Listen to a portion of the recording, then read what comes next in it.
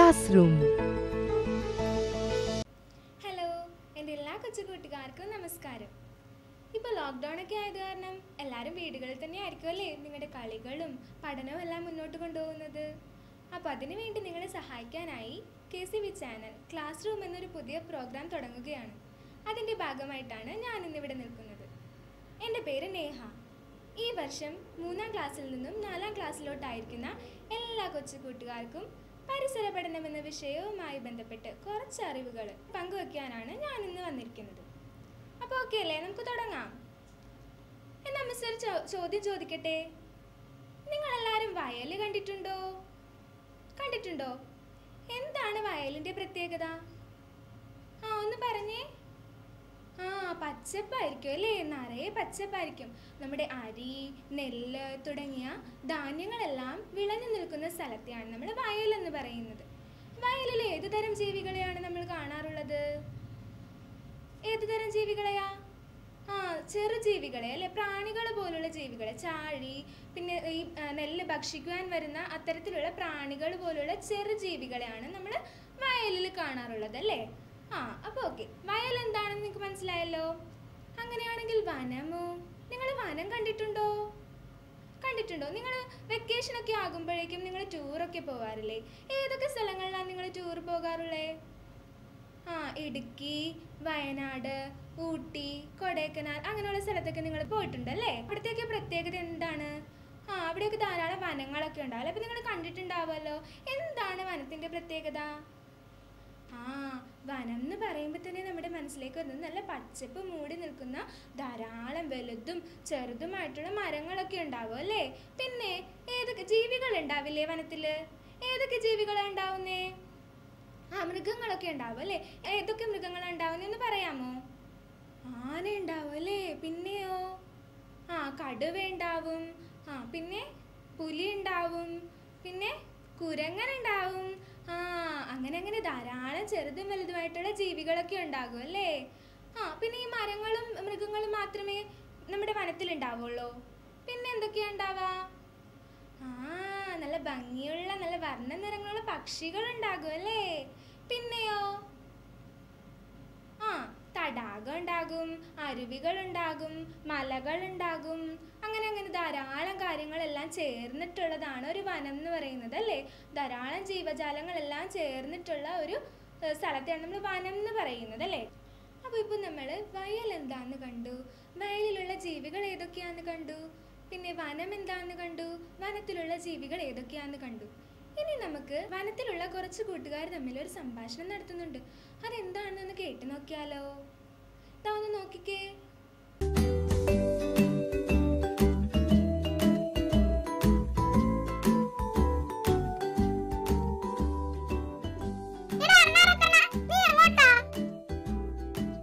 എനിക്ക് എന്തെല്ലാം ജോലികളുണ്ടെന്നോ? ഓ പിന്നെ നീ വരുന്നോ എന്നോട് കളിക്കാൻ? നല്ല കാര്യം. വെള്ളത്തിലിറങ്ങിയാൽ അണ്ണാന്റെ കാര്യം കട്ടപ്പോക. കളിയാക്കാതെ എന്നെ പോലെ മരത്തിൽ ഓടിക്കയറാനും ചില്ലകളിൽ ചാടി കളിക്കാനും നിങ്ങളെ കൊണ്ട് പറ്റുമോ വെള്ളത്തിൽ എന്നെ പോലെ നീന്തി തുടിക്കാൻ നിങ്ങൾക്ക് പറ്റില്ലല്ലോ. ഞാൻ വെള്ളത്തിലും ചാടും കരയിലും കയറും. നിങ്ങൾക്ക് രണ്ടിനും അത് പറ്റില്ലല്ലോ. പക്ഷേ ഇതുപോലെ ആകാശത്ത് പറന്നു നടക്കാൻ നിങ്ങൾക്ക് പറ്റൂ. ഡേയ് ഡേയ്. വലിയ തർക്കമൊന്നും വേണ്ട. ഓരോരുത്തർക്കും അവരവർക്കു വേണ്ട കഴിവുകളുണ്ടല്ലോ. അതും കൊണ്ട് അടങ്ങിയിരുന്നോ? അഹങ്കാരമൊന്നും വേണ്ട കേട്ടോ? എല്ലാരും സംഭാഷണം കേട്ടോ. ഇഷ്ടായോ സംഭാഷണം? ഏതൊക്കെ കഥാപാത്രങ്ങളായ ആ സംഭാഷണത്തിൽ ഉണ്ടായിരുന്നേ ആ ഒരു അണ്ണാൻ ഉണ്ടായിരുന്നല്ലേ പിന്നെ ആരാ ഉണ്ടായിരുന്നേ ഒരു മത്സ്യം ഉണ്ടായിരുന്നു പിന്നെ ഒരു തവള ഉണ്ടായിരുന്നു അല്ലേ? പിന്നെ ഒരു പക്ഷിയും ഉണ്ടായിരുന്നു ആ അപ്പോൾ ഈ നാല് കൂട്ടുകാർ തമ്മിൽ നടത്തിയ സംഭാഷണം നിങ്ങൾ ശ്രദ്ധിച്ചു കേട്ടല്ലോ. അപ്പോൾ എന്താണ് ആ സംഭാഷണത്തിൽ പറയുന്നേ? ആ ഒരു മരച്ചിലയിൽ ചാടി കളിക്കുന്ന അണ്ണാന്റെ അടുത്ത് ഒരു മീൻ ചോദിക്കുവാണ്. നീ വരുന്നോ എന്നോടൊപ്പം കളിക്കാൻ? എന്ന് ചോദിച്ചല്ലേ? അണ്ണാന് വെള്ളത്തിൽ ഇറങ്ങാൻ സാധിക്കുമോ വെള്ളത്തിൽ ഇറങ്ങി കളിച്ചാൽ അണ്ണാന്റെ ഗതി എന്താകും? അണ്ണാന് വെള്ളത്തിൽ ഇറങ്ങാൻ പറ്റുമോ എന്ത് പറ്റും? ആ ചത്തുപോകുമല്ലേ അപ്പൊ അത് കേട്ട് ഇത് ഈ ചോദ്യം കേട്ട തവള എന്താ പറഞ്ഞേ? അണ്ണാൻ വെള്ളത്തിൽ ഇറങ്ങിയാൽ നിന്റെ ഗതി എന്താകുമെന്ന് ചോദിച്ചല്ലേ അണ്ണാന്റെ അടുത്ത്. അപ്പൊ അണ്ണാൻ എന്താ പറഞ്ഞേ? ആ അണ്ണാൻ അത് ഇഷ്ടപ്പെട്ടില്ല. അപ്പൊ അണ്ണാൻ എന്ത് പറഞ്ഞു? അണ്ണാനെ പോലെ മരത്തിൽ ചാടി കളിക്കാനും ഓടി കളിക്കാനും ഒക്കെ മീനിന് സാധിക്കോ മീൻ വെള്ളത്തിൽ നിന്ന് പുറത്തു വന്നാൽ മീനിന്റെ ഗതി എന്താവും? മീൻ ചത്തുപോകും അല്ലേ? മീനിന് കരയിൽ ജീവിക്കാൻ സാധിക്കോ ഇല്ല അല്ലേ? ആ അപ്പൊ ഇങ്ങനെ ഇവർ തമ്മിൽ സംഭാഷണം നടത്തിക്കൊണ്ടിരിക്കുകയാണ്. അണ്ണാനാണെങ്കിൽ വെള്ളത്തിലോട്ട് ചെല്ലാനും പറ്റത്തില്ല. മീനിനാണെങ്കിൽ കരയിലോട്ട് വരാനും പറ്റത്തില്ല. എന്നാൽ തവളയ്ക്കോ?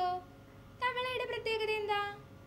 ആ തവളയ്ക്ക് വെള്ളത്തിലും ജീവിക്കാൻ സാധിക്കും അതേസമയം കരയിലും ജീവിക്കാൻ സാധിക്കും അല്ലേ? അപ്പൊ ഈ സംഭാഷണത്തിൽ നിന്ന് നിങ്ങൾക്ക് എന്താ മനസ്സിലായേ? ഒന്ന് പറഞ്ഞു നോക്കിയേ.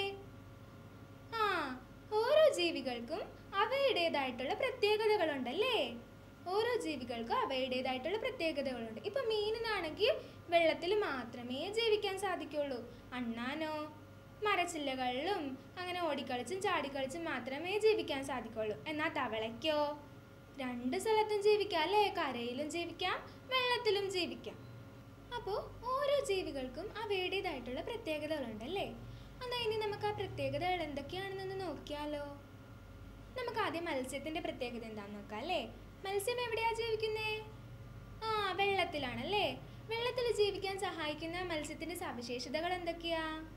എന്തൊക്കെയാ ഒരു മത്സ്യത്തെ കാണുമ്പോൾ തന്നെ അതിന് മനസ്സിലാക്കാൻ സാധിക്കുന്നേ? എങ്ങനെയാണ് മത്സ്യം വെള്ളത്തിൽ ജീവിക്കുന്നത് അതിന് അതിന്റെ ശരീരത്തിൽ എന്തൊക്കെയാ ഉള്ളേ?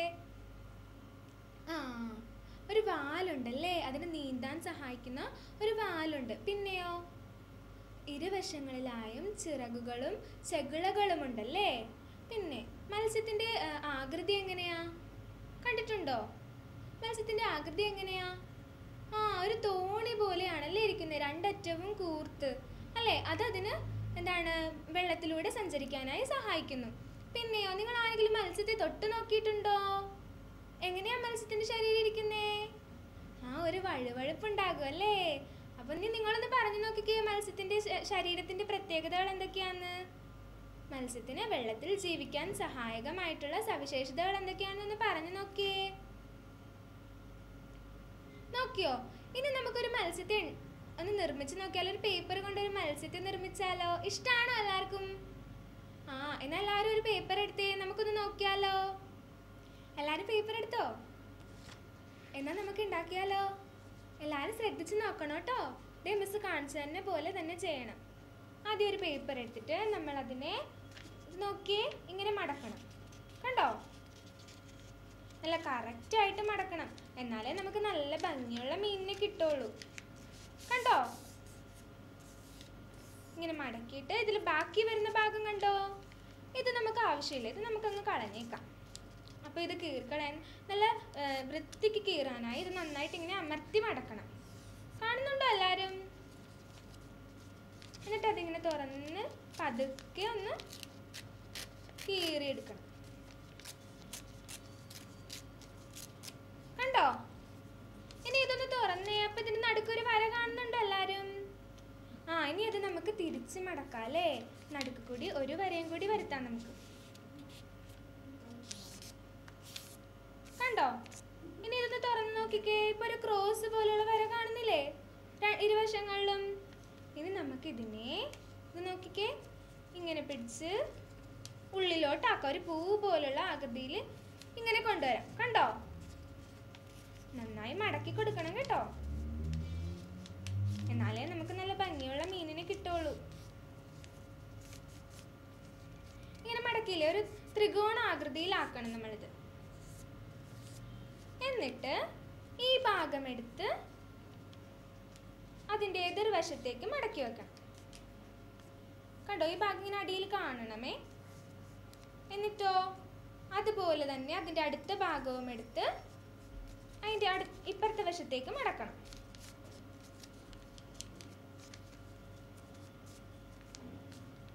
കണ്ടോ? ഇനി നോക്കിക്കേ ഒരു മീനിന്റെ ആകൃതി ആയില്ലേ? ഇനി നമുക്കതിന് കണ്ണും മൂക്കും എല്ലാം വരച്ച് അതിന് ഒന്ന് നിറമൊക്കെ കൊടുത്ത് ഒരു നല്ല ഭംഗിയുള്ള മീനാക്കി മാറ്റാം. മിസ് നേരത്തെ ഉണ്ടാക്കി വെച്ചൊരു മീൻ കാണിച്ചു തരട്ടെ നിങ്ങൾക്ക്? ഇത് നോക്കിയേ. ഇഷ്ടായോ എല്ലാവർക്കും? ഇതുപോലെയാണോ നിങ്ങൾ ഉണ്ടാക്കിയ മീൻ ഇരിക്കുന്നേ? ഇതുപോലെ കിട്ടിയോ നിങ്ങൾക്ക്?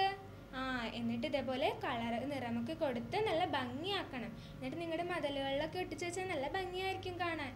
അല്ലേ? എല്ലാവർക്കും ഇഷ്ടപ്പെട്ടോ? ആ അങ്ങനെയാണെങ്കിൽ വെള്ളത്തിൽ മത്സ്യം മാത്രമേ ഉണ്ടാവുള്ളൂ. സസ്യങ്ങളൊക്കെ ഉണ്ടാവില്ലേ? ഉണ്ടാവോ? വെള്ളത്തിൽ? ആ ഏതൊക്കെ സസ്യങ്ങളുണ്ടാവാ ആ താമര ഉണ്ടാവും പിന്നെയോ?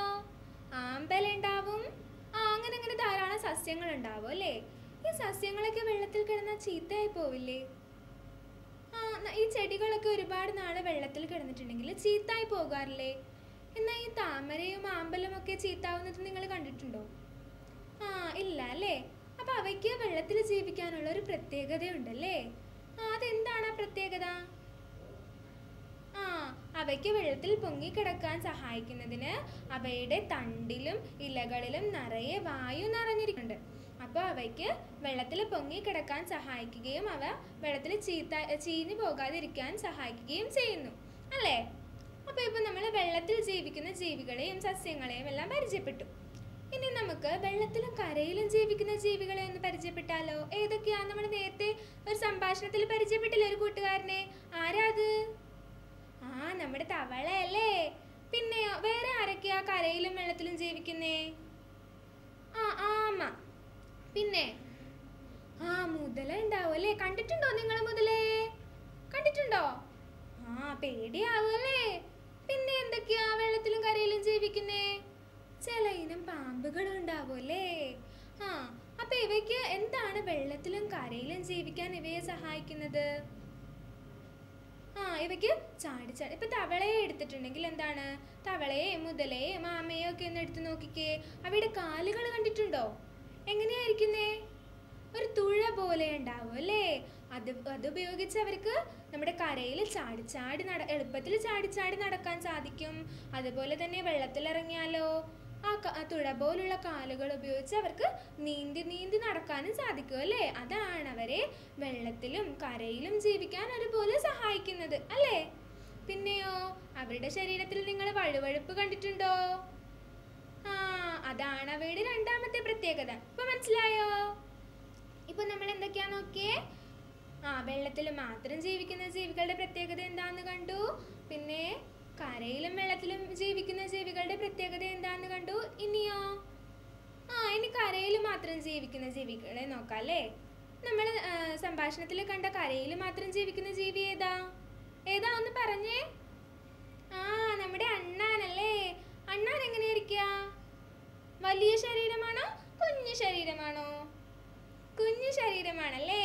കുഞ്ഞു ശരീരമായതുകൊണ്ട് തന്നെ അതിന് ഓരോ മരച്ചില്ലകളിലും ചാടി ചാടി എളുപ്പത്തിൽ നടക്കാൻ സാധിക്കും. അല്ലേ? എന്താണ്? അണ്ണാനെ കണ്ടിട്ടില്ലേ? നിങ്ങൾ മരച്ചില്ലകളിൽ ചാടി ചാടി ഒരു മരച്ചില്ലയിൽ നിന്ന് അടുത്ത മരച്ചില്ലയിലേക്ക് പോകും. നിങ്ങളെ പോലെ തന്നെയാ. നല്ല വികൃതിക്കാരനാണല്ലേ? ആ അതെ അണ്ണാൻ എങ്ങനെയാണ് അത് സാധിക്കുന്നേ? അണ്ണാന്റെ കാൽ കണ്ടിട്ടുണ്ടോ നിങ്ങൾ? നിങ്ങൾ ചിന്തിക്കാറുണ്ടോ? അണ്ണാൻ ഇങ്ങനെ ഒരു മരച്ചിലിൽ നിന്ന് അടുത്ത മരച്ചിലയിലേക്ക് കയറുമ്പോഴേക്കും എന്താ താഴെ വീണ് പോകാത്തേന്ന്? ഞാൻ ചിന്തിക്കാറുണ്ട്. നിങ്ങൾ ചിന്തിക്കാറുണ്ടോ? ആ എന്നാൽ നമുക്കൊന്ന് നോക്കിയാലോ. അണ്ണാന്റെ കാലുകളാണ് അണ്ണാനെ ഇങ്ങനെ ചാടി ചാടി നടക്കാൻ സഹായിക്കുന്നത്. അണ്ണാന്റെ കാലുകൾ കാലുകളിൽ ചെറിയ നഖങ്ങളുണ്ട്. അത് ഒരു മരച്ചില ചില്ലയിൽ നിന്ന് അടുത്ത മരച്ചില്ലയിലേക്ക് വരുമ്പോഴേക്കും അവിടെ ഇറുക്കി പിടിക്കാൻ സഹായിക്കുന്നു. മനസ്സിലായോ? അപ്പൊ എന്താ ഇപ്പൊ ഇതിൽ നിന്ന് മനസ്സിലായേ? ഓരോ ജീവികൾക്കും അവയുടേതായിട്ടുള്ള പ്രത്യേകതകൾ ഉണ്ടെന്ന് പറഞ്ഞല്ലേ? പിന്നെയോ? പിന്നെ എന്താണ്? അവയുടെ ജീ അവർ ജീവിക്കുന്ന സ്ഥലവും വ്യത്യാസമുണ്ട് അല്ലേ മീനാണെങ്കിൽ വെള്ളത്തിൽ മാത്രമായിരിക്കും അണ്ണാനാണെങ്കിലോ കരയിൽ മാത്രമായിരിക്കും തവളയാണെങ്കിലോ കരയിലും വെള്ളത്തിലും ജീവിക്കും അല്ലേ? അപ്പൊ നമ്മൾ എന്താ പറഞ്ഞു വന്നേ? ഓരോ ജീവികൾക്കും അതിന്റെതായിട്ടുള്ള പ്രത്യേകതകളുണ്ട്. അതുപോലെ തന്നെ അവ ജീവിക്കുന്ന സ്ഥലങ്ങൾക്കും അതിന്റെതായിട്ടുള്ള പ്രത്യേകതകളുണ്ട് അല്ലേ? അതിന് നമുക്കൊരു നിർവചനം കൊടുത്താൽ എങ്ങനെയിരിക്കും? ഓരോ ജീവികൾക്കും അവ ജീവിക്കുന്ന വാസസ്ഥലത്ത് ജീവിക്കാനുള്ള സവിശേഷതകൾ ഉണ്ടാകും അല്ലേ? ഇപ്പൊ നമ്മൾ കണ്ടതുപോലെ അതിന് നമ്മൾ എന്താ പറയുന്നേ? അനുകൂലനങ്ങൾ എന്ന് പറയൂ അല്ലേ? എന്താ ഒന്ന് പറഞ്ഞേ? അനുകൂലനങ്ങൾ എന്ന് പറയും. ഇനി മറക്കുവോ ഒന്നും കൂടി പറഞ്ഞേ. എന്താണ്? അവ ഓരോ ജീവികൾക്കും അവയുടെ വാസസ്ഥലത്ത് ജീവിക്കുവാൻ സഹായിക്കുന്ന തരത്തിലുള്ള സവിശേഷതകൾ ഉണ്ടായിരിക്കും. അതിനെയാണ് നമ്മൾ അനുകൂലനങ്ങൾ എന്ന് പറയുന്നത്. എന്താ പറയുന്നേ? അനുകൂലനങ്ങൾ. ഓക്കെ നിങ്ങളെല്ലാരും മിടുക്കന്മാരും മിടുക്കുകളൊക്കെ അല്ലേ? ആണോ? ആണല്ലേ? ആ ഇവിടെ ഒരു തർക്കം നടക്കുന്നുണ്ട്. ആരാണ് മിടുക്കൻ എന്നറിയാൻ വേണ്ടി? ആര് തമ്മിലാണെന്ന് അറിയാമോ? ഒരാൽമരവും മണ്ണും തമ്മിൽ. നോക്കിയാലോ? ആ ഒരു ദിവസം ആൽമരം പറയുവാണ് ഞാനാണ് കൂടുതൽ ജീവികൾക്കും വാസസ്ഥലം ഒരുക്കുന്നതെന്ന്. ശരിയാണോ? ആയിരിക്കും അല്ലേ അപ്പൊ മണ്ണ് പറയുക നീയല്ല ഞാനാണ് കൂടുതൽ ജീവികൾക്കും വാസസ്ഥലം ഒരുക്കുന്നതെന്ന്. നീ ആൽമരം പോലും എന്ത് എന്നിലാണ് നിൽക്കുന്നതെന്ന്. അതല്ലേ അപ്പൊ ശരി? ഏതാ ശരി? നിങ്ങൾ ആൽമരം കണ്ടിട്ടുണ്ടോ? കണ്ടിട്ടുണ്ടോ? ആ നല്ല വലിയ മരമായിരിക്കും അല്ലേ? ധാരാളം വർഷങ്ങൾ പഴക്കം ഉണ്ടാവും അല്ലേ? നല്ല വലിയ ആൽമരങ്ങൾക്ക്. അപ്പോൾ അതിനെ നമ്മൾക്ക് എന്ത് വിളിക്കാം? ആൽമുത്തശ്ശി എന്ന് വിളിച്ചാലോ? എങ്ങനെയുണ്ട്? ഇഷ്ടായോ? ആ ആൽമുത്തശ്ശി എന്ന് വിളിക്കാം അല്ലേ? ആ അപ്പോൾ അങ്ങനെയാണെങ്കിൽ ആൽമുത്തശ്ശിയെ കണ്ടിട്ടുണ്ടോ നിങ്ങളെല്ലാവരും ആൽമുത്തശ്ശി ഏതൊക്കെ ജീവികൾക്കാണ് വാസസ്ഥലം ഒരുക്കുന്നതെന്ന് ശ്രദ്ധിച്ചിട്ടുണ്ടോ? എന്നാൽ ഇനി കാണുമ്പോൾ ഒന്ന് ശ്രദ്ധിച്ച് നോക്കണം കേട്ടോ. പിന്നെ നമുക്കിപ്പോൾ ഒന്ന് നോക്കിയാലോ? നമുക്കറിയാവുന്നതൊക്കെ ഒന്ന് പറഞ്ഞാലോ? ആൽമുത്തശ്ശിയുടെ മുകളിൽ ആരൊക്കെയാ കൂട് കൂട്ടുക പലതരത്തിലുള്ള പക്ഷികൾ വന്ന് ആൽമുത്തശ്ശിയുടെ ചില്ലകളിൽ കൂട് കൂട്ടും അല്ലേ? പിന്നെയോ? ആ അതിന്റെ പൊത്ത് എന്താണ്? ആ മരത്തിന്റെ പൊത്തിലായിട്ട് ആലിന്റെ പൊത്തിലായിട്ട് ആര് കൂട് കൂട്ടും അണ്ണാനുണ്ടാവും പിന്നെ മരം കൊത്തി ഉണ്ടാവും പിന്നെ ഈ മരത്തിന്റെ അടിയിലായിട്ട് ആരുണ്ടാവും? മാളങ്ങളൊക്കെ ഉണ്ടാക്കിയിട്ട് എലികൾ ഉണ്ടാവും പിന്നെയോ? അതിന് ചുറ്റിനായിട്ട് ഉറുമ്പുകളൊക്കെ ഉണ്ടാവില്ലേ? അപ്പൊ ഇപ്പൊ തന്നെ നോക്കിക്കേ എന്തോരം ജീവജാലങ്ങളാ ആലിൽ ജീവിക്കുന്നേ. അപ്പൊ ആൽമുത്തശ്ശി അല്ലേ ധാരാളം ജീവജാലങ്ങൾക്ക് വാസസ്ഥലം ഒരുക്കുന്നത്? അപ്പൊ മണ്ണ് പറഞ്ഞത് നോക്കിയാലോ? ആൽമുത്തശ്ശി പോലെ നിൽക്കുന്നത് എവിടെയാ? നമ്മൾ നിൽക്കുന്നത് എവിടെയാ? മണ്ണിലാണല്ലേ? ആ അപ്പൊ ആൽമുത്തശ്ശി നിൽക്കുന്നത് മണ്ണില. അപ്പൊ മണ്ണ് പറഞ്ഞതാണല്ലേ ശരി. മണ്ണിലല്ലേ ധാരാളം ജീവികൾ ജീവിക്കുന്നേ? അങ്ങനെയാണെങ്കിൽ ഞാനൊരു കാര്യം ചോദിക്കട്ടെ? മഴ വന്നാൽ ഈ മണ്ണ് ഒലിച്ചു പോകത്തില്ലേ? അപ്പൊ മണ്ണാണോ കേമൻ? അല്ലെങ്കിൽ ആൽമുത്തശ്ശിയാണോ? ഒരു കാറ്റും മഴയും വന്ന് നല്ല ഇടിമിന്നൽ ഇടികൊടുക്കും. ആൽമരങ്ങളും മറിഞ്ഞു വീഴാറുണ്ട്. അപ്പോൾ ആൽമുത്തശ്ശി മറിഞ്ഞു വീഴാറുണ്ട്. അങ്ങനെ ഒരു കാറ്റും മഴയും വന്ന മണ്ണ് ഒലിച്ചു പോകാറുണ്ട് പറന്നു പോകാറുണ്ട്. അപ്പോൾ ആരാണ് കേമൻ? ആരെങ്കിലും നമുക്ക് ഉറപ്പിച്ച് പറയാൻ പറ്റുമോ ഇല്ല അല്ലേ? എല്ലാവർക്കും അവരുടേതായിട്ടുള്ള ഓരോ സവിശേഷതകളുണ്ട്. ഇനി ആൽമരത്തിന്റെ പ്രത്യേകതകൾ എന്തൊക്കെയാ? ആൽമരം നമുക്ക് എന്തൊക്കെയാ എന്തൊക്കെ സഹായങ്ങളാ ചെയ്തു തരാറ്? ആ ഒന്ന് ഒന്ന് പറഞ്ഞേ. ആ നല്ല തണൽ തരും അല്ലേ ആൽമരത്തിന്റെ അടിയിൽ ഇരിക്കുമ്പോൾ നല്ല സുഖമല്ലേ നല്ല വെയിലത്ത് നടന്ന് നടന്ന് ക്ഷീണിച്ച് വരുമ്പോ ആൽമരത്തിന്റെ തണലിൽ ഇരു- ഇരിക്കാൻ നല്ല സുഖമല്ലേ പിന്നെയോ? ആൽമരത്തിന്റെ ചുവട്ടിലിരുന്നാൽ നല്ല ശുദ്ധവായു കിട്ടും അല്ലേ ശുദ്ധവായു. ആ. അപ്പോൾ നമ്മൾ എന്താ പറഞ്ഞേ? ആൽമരം നമുക്ക് നല്ല ശുദ്ധവായു തരും തണൽ തരും എന്നൊക്കെ പറഞ്ഞല്ലേ? നമുക്ക് ഈ ഭൂമിയിൽ ജീവിക്കാൻ എന്തെല്ലാം കാര്യങ്ങളാണ് വേണ്ടേ? വേണ്ടത് എന്ത് എന്തെല്ലാം കാര്യങ്ങളാണ് വേണ്ടത്? അത്യാവശ്യമായി. ആ വായു വേണോ അല്ലേ? നമുക്ക് ശ്വസിക്കാനായിട്ട് വായു വേണ്ടേ? പിന്നെ എന്ത് വേണം? ജലം വേണോ അല്ലേ? പിന്നെ എന്ത് വേണം? ആ മണ്ണ് വേണം നമുക്ക് ജീവിക്കണമെങ്കിൽ മണ്ണ് വേണ്ടേ? ആ അപ്പോൾ എന്താണ്? വായു ജലം മണ്ണ് ഇങ്ങനെ തുടങ്ങിയിട്ടുള്ള പല ഘടകങ്ങളും നമ്മുടെ ജീവിതത്തിന് നമ്മുടെ ജീവൻ നിലനിർത്താനായിട്ട് ആവശ്യമാണല്ലേ അപ്പോൾ ഞാൻ ചോദിക്കട്ടെ എല്ലാത്തിനും ജീവനുണ്ടോ? ജീവനുള്ളവയാണോ ഇവയെല്ലാം? ആണെന്നോ? ആ അങ്ങനെയാണെങ്കിൽ നമുക്ക് നോക്കാം. നമ്മുടെ ജലം ജലം വെള്ളം എടുത്താൽ വെള്ളം വലുതാകൂ? വെള്ളത്തിന് വല്ല മാറ്റങ്ങൾ സംഭവിക്കാറുണ്ടോ? മാറ്റങ്ങൾ സംഭവിക്കും എന്നാൽ ജലം വലുതാകൂ? ഇല്ലല്ലേ വായുവോ? ഇല്ല മണ്ണോ? ഇല്ലല്ലേ? ആ അപ്പോൾ നമുക്ക് ചുറ്റിനുള്ള ജീവജാലങ്ങൾ നമുക്ക് ജീവീയ ഘടകങ്ങളെന്നും അജീവീയ ഘടകങ്ങളെന്നും തിരിക്കാം രണ്ടായി തിരിക്കാം ജീവിയ ഘടകങ്ങൾ എന്ന് പറഞ്ഞാൽ എന്താണെന്ന് അറിയാമോ? ഒന്ന് പറഞ്ഞു നോക്കിക്കേ. ഇപ്പൊ മിസ് പറഞ്ഞതിൽ നിന്ന് കുറച്ചെങ്കിലുമൊക്കെ ഒന്ന് മനസ്സിലായിട്ടുണ്ടാവുമല്ലോ. ആ ജീവനുള്ള വസ്തുക്കളെയാണ് നമ്മൾ ജീവീയ ഘടകങ്ങൾ എന്ന് പറയുന്നത്. ജീവനില്ലാത്തവയെ അപ്പൊ എന്താ പറയാ? അജീവീയ ഘടകങ്ങൾ എന്നും പറയും. അപ്പോൾ കുറച്ച് ജീവീയ ഘടകങ്ങൾ പറഞ്ഞേ. ആ എല്ലാ ജീവജാലങ്ങളും നമുക്ക് ജീവിയ ഘടകങ്ങളാണല്ലേ? പിന്നെ അജീവിയ ഘടകങ്ങളിൽ ഏതൊക്കെയാ വരാ? ഇപ്പൊ നമുക്ക് പറഞ്ഞാൽ നമ്മുടെ ജീവിതത്തിന് ആവശ്യമായിട്ടുള്ള കാര്യങ്ങൾ ഏതൊക്കെയാണ്? വായു ജലം മണ്ണ് തുടങ്ങിയിട്ടുള്ളവയൊക്കെ അജീവിയ ഘടകങ്ങളിൽ വരുമല്ലേ? ഇനി നമുക്ക് നമ്മൾ ആരെങ്കിലും ആശ്രയിച്ചാണോ ജീവിക്കാറുള്ളത്? നമ്മൾ എന്തൊക്കെയാ ഭക്ഷിക്കുന്നേ? നിങ്ങൾക്ക് എന്തൊക്കെ ഭക്ഷണങ്ങളാ ഇഷ്ടപ്പെട്ട ഇഷ്ടപ്പെട്ട ഭക്ഷണങ്ങൾ ഏതൊക്കെയാ? ചിക്കൻ ഇഷ്ടാണോ? ആ മീനോ? നോൺ വെജ് ആണല്ലേ കൂടുതൽ ഇഷ്ടം. എനിക്കും അതെ. അപ്പോൾ എന്താ? നമ്മൾ മറ്റു ജീവികളെ ആശ്രയിച്ചല്ലേ ജീവിക്കാറുള്ളത്? നമ്മൾക്ക് ഭക്ഷിക്കാൻ അവയൊക്കെ വേണ്ടേ? നമുക്ക് നോൺ വെജ് മാത്രം മതിയോ? നിങ്ങൾ നോൺ വെജ് മാത്രം കഴിച്ചാൽ എങ്ങനെയാ ആരോഗ്യം ഉണ്ടാവുന്നേ? ആ പച്ചക്കറികളും കഴിക്കണം അല്ലേ? എന്താണ്? നല്ല പോഷക സമൃദ്ധമായിട്ടുള്ള പച്ചക്കറികളും കഴിക്കണം. അപ്പം മനുഷ്യന് രണ്ടും വേണം അല്ലേ? എന്താണ്? വെജും വേണം നോൺ വെജും വേണം അല്ലേ? അപ്പോൾ ഇതിൽ നിന്ന് എന്ത് മനസ്സിലാക്കാം? ആ സസ്യങ്ങൾ ജന്തുക്കളെയും ജന്തുക്കൾ സസ്യങ്ങളെയും പരസ്പരം ആശ്രയിച്ച് നിൽക്കുന്നുണ്ടെന്ന്.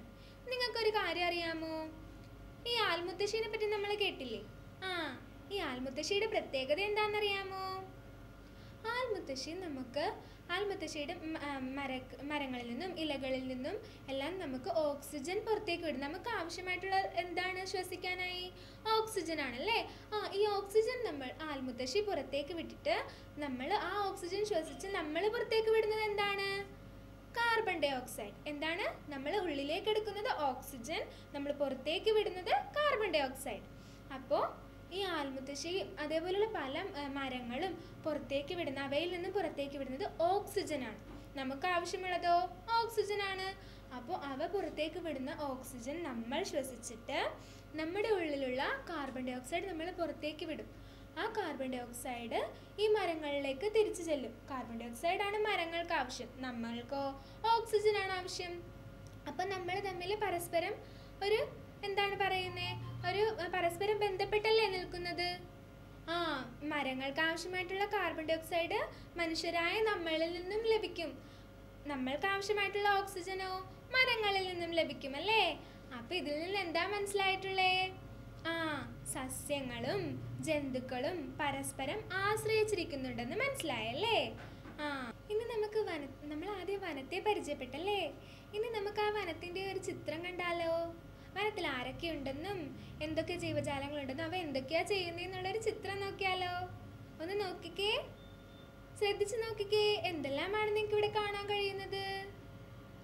ആ ധാരാളം മരങ്ങളൊക്കെ ഉണ്ടല്ലേ? ചെറുതും വലുതുമായിട്ടുള്ള മരങ്ങളൊക്കെ ഉണ്ടല്ലേ ഈ വനത്തിന് എന്താണ് കൂടുതൽ ഭംഗി നൽകുന്നത്? എന്തെല്ലാം കാര്യങ്ങളാണ് ഈ വനത്തിന് കൂടുതൽ ഭംഗി നൽകുന്നത്? ഒന്ന് നോക്കിയിട്ട് പറഞ്ഞേ. ആ ചെറുതും വലുതുമായിട്ടുള്ള മരങ്ങളുണ്ട് പിന്നെയോ? ആ മരത്തിൽ ആരൊക്കെയാ ജീവിക്കുന്നതെന്ന് നോക്കിക്കേ. ആ മുകളിൽ ഒരു കിളി കൂട് കൂട്ടി വെച്ചിട്ടുണ്ടല്ലേ. ആ എന്നിട്ട് ഭക്ഷണം തേടി പോകുകയാണ് രണ്ട് കിളികളും കൂടി. പിന്നെയോ ആ മരത്തിൽ ആരൊക്കെയാ ജീവിക്കുന്നേ? ആ താഴെ തന്നെ ഒരു കുരങ്ങൻ ഉണ്ടല്ലേ കുരങ്ങൻ ചാടി കളിക്കുന്നുണ്ട്. പിന്നെയോ? അവിടെ ഒരു പൊത്തിൽ നിന്നൊരു തത്ത നോക്കുന്നത് കണ്ടോ ആ മരത്തിലെ? മരത്തിലെ ഒരു പൊത്തിൽ നിന്നൊരു തത്ത ഒളിഞ്ഞു നോക്കുന്നത് കണ്ടോ? ആ പിന്നെന്താ ഉള്ളേ? ആ മരത്തിന്റെ താഴെ നോക്കി ആരാ അവിടുന്ന് ഓടി വരുന്നേ? ഒരു മുയൽ ഓടി വരുന്നുണ്ടല്ലേ? പിന്നെയോ ആ മര ആ, വനത്തിൽ വേറെ എന്തൊക്കെയാ ഉള്ളേ? ഒരു അരുവി ഒരു വെള്ളച്ചാട്ടം ഒഴുകുന്നുണ്ടല്ലോ. നോക്കിയേ കാണുന്നുണ്ടോ? ആ ആ വെള്ളച്ചാട്ടം ഒഴുകി ഒരു അരുവിയായി പോകുന്നുണ്ടല്ലേ? ആ അരുവിയിൽ നമ്മുടെ ധാരാളം കൂട്ടുകാർ വെള്ളം കുടിക്കുന്നത് നോക്കിക്കേ. എന്ത് ഭംഗിയാ. ആ ഏതൊക്കെ കൂട്ടുകാരാ അവിടെ നിന്ന് വെള്ളം കുടിക്കുന്നേ? ആ ഒരു ആനയുണ്ട് രണ്ട് പേടമാനുണ്ട്. പിന്നെ? പിന്നെ ആരാ ഉള്ളേ? പിന്നെ ഒരു കടുവയുണ്ടല്ലേ ആ അപ്പൊ ഇപ്പൊ തന്നെ നോക്കിക്കേ. നമ്മുടെ വനത്തിന്റെ ചിത്രം മനോഹരമാക്കിയത് ഇത്രയും ജീവജാലങ്ങൾ എല്ലാം ചേർന്നിട്ടാണ്. ജീവിയ ഘടകങ്ങളും അജീവിയ ഘടകങ്ങളും ചേർന്നിട്ടാണ് നമ്മുടെ ആ വനത്തെ മനോഹരമാക്കിയിട്ടുള്ളത്. അപ്പോ ഇപ്പൊ തന്നെ നമ്മൾ കണ്ടില്ലേ ആ മരത്തിൽ എന്തെല്ലാം ജീവജാലങ്ങളാ ജീവിക്കുന്നതെന്ന് അപ്പൊ അവയുടെയൊക്കെ വാസസ്ഥലം ഏതാ? ആ മരമാണല്ലേ? അപ്പൊ ആ മരത്തെ നമ്മൾ എന്താ എന്താ പറയുന്നേ? ആ മരത്തെ ആ ജീവികളുടെ എന്തായിട്ടാണ് നമ്മൾ പറയുന്നേ? എന്താണ്? ആവാസ വ്യവസ്ഥ എന്താണ്? ആവാസ വ്യവസ്ഥ ആ ഒരു പ്രദേശത്ത് ഒരു പ്രദേശത്തെ ഒരുപാട് ജീവികൾ ഒരുമിച്ച് ജീവിക്കുന്നതിനെയാണ് നമ്മൾ ആവാസ വ്യവസ്ഥ എന്ന് പറയുന്നത്. മനസ്സിലായോ? എന്താ പറയുന്നേ? ഒരു പ്രദേശത്തെ ഒരുപാട് ജീവികൾ ജീവിക്കുന്നതിനെയാണ് നമ്മൾ ആവാസ വ്യവസ്ഥ എന്ന് പറയുന്നത്.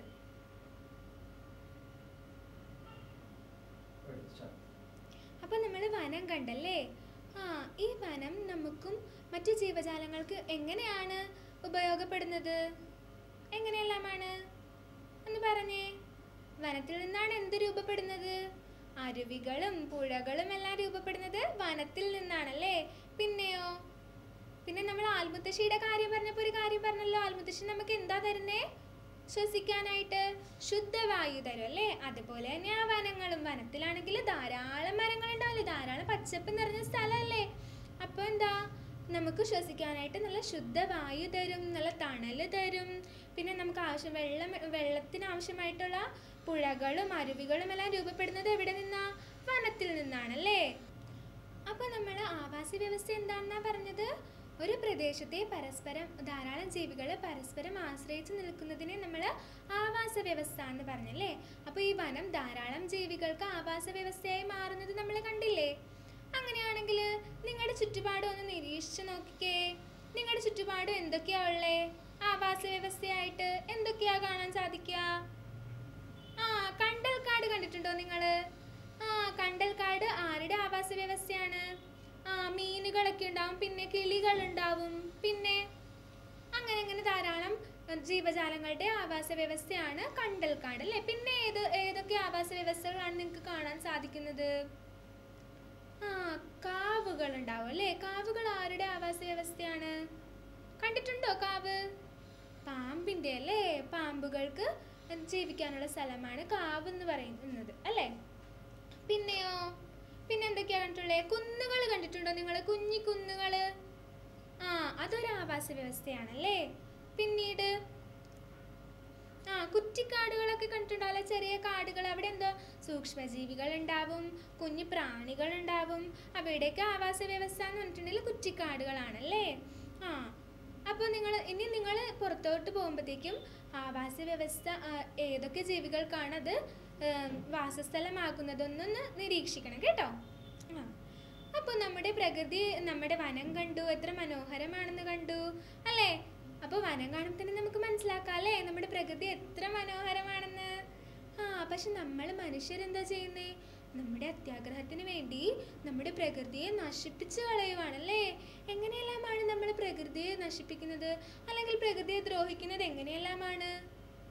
നിങ്ങൾക്കറിയാമോ? ആ നമ്മൾ തന്നെ ഒരുപാട് കാര്യങ്ങൾ ചെയ്തിട്ടുണ്ടല്ലേ? നിങ്ങൾ പ്ലാസ്റ്റിക് ഒക്കെ ഉപയോഗിക്കാറില്ലേ? എന്നിട്ട് നിങ്ങൾ എന്താ ചെയ്യുന്നേ? ആ പ്ലാസ്റ്റിക് നമ്മൾ വലിച്ചെറിഞ്ഞ് അല്ലേ അത് നമ്മളുടെ പ്രകൃതിക്ക് നല്ലതാണോ? അല്ല അല്ലേ? പ്രകൃതി നമുക്ക് എന്തെല്ലാം കാര്യങ്ങളാണ് തരുന്നത് ഇത്രയും മരങ്ങൾ കൊണ്ട് നിറഞ്ഞ് സമ്പന്നമാക്കി നമുക്ക് നല്ല ശുദ്ധവായു തരുന്നു. പിന്നെ എന്തൊക്കെയാ? നല്ല തണൽ തരുന്നു. നല്ല കാഴ്ചകൾ തരുന്നു അല്ലേ? പക്ഷെ നമ്മൾ എന്താ തിരിച്ചു ചെയ്യുന്നേ? പ്രകൃതിയെ മലിനമാക്കുകയാണല്ലേ? പിന്നെ നമ്മൾ എങ്ങനെയാ പ്രകൃതിയെ മലിനമാക്കുന്നേ? ഈ വനങ്ങളിലൊക്കെ മരങ്ങളെല്ലാം വെട്ടിക്കളയോ അല്ലേ? അപ്പം പ്രകൃതിക്ക് സങ്കടാവില്ലേ? ആ അപ്പം നമ്മൾ അങ്ങനെ ചെയ്യാമോ? അത് ശരിയാണോ? ഇനി നമ്മൾ പ്ലാസ്റ്റിക് ഒന്നും പുറത്തേക്ക് വലിച്ചെറിയരുത്. അത് പ്ലാസ്റ്റിക് പരമാവധി ഒഴിവാക്കി പേപ്പർ ബാഗുകളും പേപ്പർ കൊണ്ടുള്ള അല്ലെങ്കിൽ മറ്റു വസ്തുക്കൾ കൊണ്ടിട്ടുള്ള ഉപ ഉപകരണങ്ങളൊക്കെ ഉപയോഗിക്കാൻ ശ്രമിക്കണം അല്ലേ? നിങ്ങളെല്ലാവരും ശ്രമിക്കില്ലേ? ആ അങ്ങനെ വേണം. നമ്മൾ പ്രകൃതിയെ സംരക്ഷിക്കണ്ടേ? എങ്കിലല്ലേ പ്രകൃതി നമുക്ക് ഇനിയും സന്തോഷങ്ങളും നല്ല നല്ല കാര്യങ്ങളൊക്കെ തരുള്ളൂ. ആ അപ്പോൾ നമ്മളിനി എന്താ ചെയ്യേണ്ടത്? മരം വെട്ടുന്നത് കാണുമ്പോൾ നമ്മൾ പറയണം? മരം ഒരു മരം നമ്മുടെ മരങ്ങളൊക്കെ നമുക്ക് ആവശ്യമാണല്ലേ? ഒരു മരം വെട്ടിക്കഴിഞ്ഞാൽ നമ്മൾ അതിന് പകരം രണ്ട് മരമെങ്കിലും നടണം അല്ലേ? ഇനി നിങ്ങൾ ആരെങ്കിലും മരം വെട്ടുന്നത് കാണുമ്പോൾ എന്ത് പറയും? അവരുടെ അടുത്ത് മരം ഒരു പുതിയ മരം നടാൻ വേണ്ടിയിട്ട് പറയണം കേട്ടോ? പിന്നെയോ പിന്നെ എങ്ങനെയാ നമ്മൾ പ്രകൃതിയെ മലിനമാക്കുന്നേ? പ്രകൃതിയെ നശിപ്പിക്കുന്നേ നമ്മൾ എങ്ങനെയാ? നമ്മുടെ വനത്തെയൊക്കെ നശിപ്പിക്കുന്നേ? ആ നമ്മൾ കുന്നുകളെല്ലാം ഇടിച്ച് നികത്തും അല്ലേ? എന്തിനാ വലിയ വലിയ കെട്ടിടങ്ങളൊക്കെ പണിയാൻ വേണ്ടിയിട്ട്? പിന്നെയോ നമ്മൾ തോടുകളും പുഴകളും ഒക്കെ നികത്താറുണ്ടല്ലേ? അവിടെയൊക്കെ വലിയ വലിയ കെട്ടിടങ്ങൾ വന്നിട്ടുണ്ടെങ്കിൽ അതിൽ ജീവിക്കുന്ന ജീവികൾ പിന്നെ എവിടെയാ പോവുക? അവർക്ക് വേറെ വാസസ്ഥലം കിട്ടാൻ നല്ല ബുദ്ധിമുട്ടല്ലേ? നമ്മളുടെ വീട് നഷ്ടപ്പെട്ടിട്ടുണ്ടെങ്കിൽ നമ്മൾക്ക് പുതിയൊരു വീട് കണ്ടുപിടിക്കാൻ ബുദ്ധിമുട്ടല്ലേ? ആ അതുപോലെ തന്നെയാ നമ്മുടെ കാട്ടിലെ മൃഗങ്ങളും നമ്മുടെ ഓരോ ജീവജാലങ്ങളും അതുപോലെ തന്നെയാ. അവർ ജീവിക്കുന്ന അവരുടെ വാസസ്ഥലം നഷ്ടപ്പെട്ടു പോയാൽ അവർക്ക് പുതിയൊരു വാസസ്ഥലം കണ്ടുപിടിക്കാൻ എന്തൊരു ബുദ്ധിമുട്ടാ അല്ലേ? ആ അപ്പൊ നമ്മൾ എന്താ ചെയ്യണ്ടേ? അതുപോലുള്ള കാര്യങ്ങളൊക്കെ പരമാവധി ഒഴിവാക്കണം. നമ്മൾ നമ്മുടെ ആരെങ്കിലും അതുമായിട്ട് ബന്ധപ്പെട്ട് എന്തെങ്കിലും പ്രവർത്തനങ്ങൾ ചെയ്യുന്നത് കാണുമ്പോൾ നമ്മൾ അവരെ തടയണം അല്ലേ? പകരം എന്ത് ചെയ്യണം? ഇപ്പൊ മുമ്പ് പറഞ്ഞ പോലെ ഒരു മരം വെട്ടിയാൽ രണ്ട് മരമെങ്കിലും നടാൻ അവരെ നമ്മൾ പ്രോത്സാഹിപ്പിക്കണം. നിങ്ങൾ ചെയ്ത് കാണിച്ചു കൊടുത്താലേ മറ്റുള്ളവർ അത് ചെയ്യുള്ളൂ. അല്ലേ? ആ അപ്പൊ അപ്പോൾ ഇനി ഇന്ന് നിങ്ങൾ എന്താ ചെയ്യേണ്ടത് ഇപ്പൊ ഇന്ന് മിസ് പറഞ്ഞ കാര്യങ്ങളെല്ലാം നിങ്ങൾക്ക് മനസ്സിലായോ? എന്തിനൊക്കെ പറ്റിയാ നമ്മൾ പഠിച്ചേ? വനത്തിനെ പറ്റി നമ്മൾ കൂടുതൽ ആഴത്തിൽ കണ്ടല്ലേ? ഇനി നിങ്ങൾക്ക് വനം എന്താണെന്ന് നിങ്ങൾ മറക്കോ? ഇല്ലല്ലോ. പിന്നെന്താ?